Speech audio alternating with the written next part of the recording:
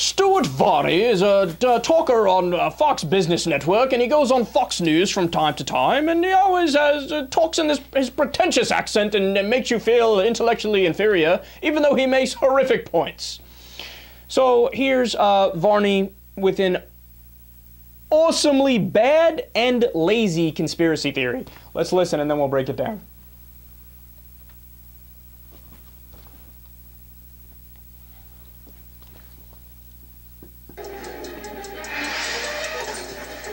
Hey, a new record for Food Stamp Nation. Now, one in five households are receiving the government handout. And now the USDA is promoting food stamps to illegal immigrants, saying you don't need to prove your citizenship to get the taxpayer funded freebies. So, what kind of threat is that to our economy and our security? Stuart Varney joins us now. This has incensed you, hasn't it? Yes, it has, actually. Why do you advertise specifically to illegal immigrants and say, you don't have to say you're illegal, but you can get food stamps? Why are we saying that? My answer is, you're buying votes. You're attempting to influence a specific voting group Who by is giving buying the them vote. Stuart? Who? If they can't vote. Look, it is the Obama administration, which has vastly expanded the food stamp program, advertises it, and now says, hey, you illegals. And they put this out in Spanish to the Mexican consulate in, in uh, uh, Washington, D.C. You don't have to say that you're illegal. So, you're suggesting the, the illegals come over here, they get the free food, and they vote Democrat eventually?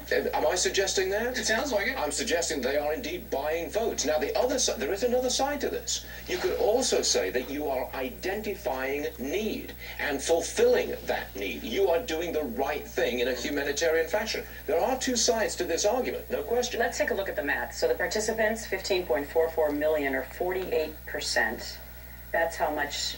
That's how No, no, much we are. no, no, no. We're up. That's up how much we are, right? million Yeah. Since President Obama, uh, uh, total, uh, we're up that. We're up 48% since President Obama took over the White House. We've gone from 48 million 32 people million on to 47 million. Four, no, almost 48 million. And we're gaining about 80,000 every month signing up. Net new uh, claimants for food stamps, 80,000 a month, even though we're told that the economy is recovering.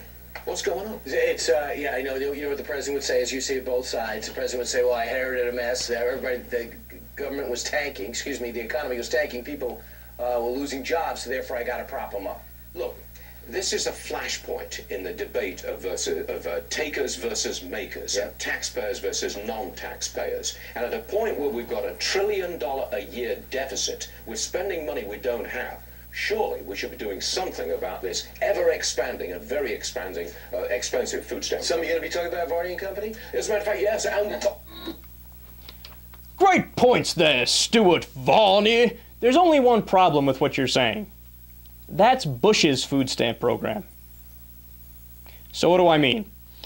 Uh, they scream expansion under Obama. Look at all the numbers. Oh my God, scary numbers going up, going up, going up, going up. You know who loosened the requirements, and at, that's why it's going up? George Bush. Bush loosened the requirements. The recession that was started under George W. Bush, that Obama's been improving ever since he got into office, he started the recession. He loosened the requirements for food stamps because, by the way, food stamps isn't inherently a problem. It's uh, a band aid to attempt to alleviate the problem of hunger. Because, you know, when people are poor and they can't afford fucking food, in a, a civilized country, maybe they should be able to have, what is it, a dollar and 50 cents a day or whatever ridiculously low number uh, it is that they live on. But I love that. No matter what the facts are, they just uh, blame Obama. You know what it reminded me of? The uh, remember the Obama phone nonsense. First of all, you guys would be amazed at how many people bought into that and thought it was true. That Obama came up with this cell phone program, and uh, it was him giving out free phones because there was one uh, ignorant uh, black lady who said to some right-wing reporter, "I got my Obama phone," because of course, anytime uh, a hood rat makes a point, obviously it's 100% correct. No, when you fact check it, you find out very quickly that Ronald Reagan started the free cell phone program. It was expanded under George W. Bush, and it's continued ever since.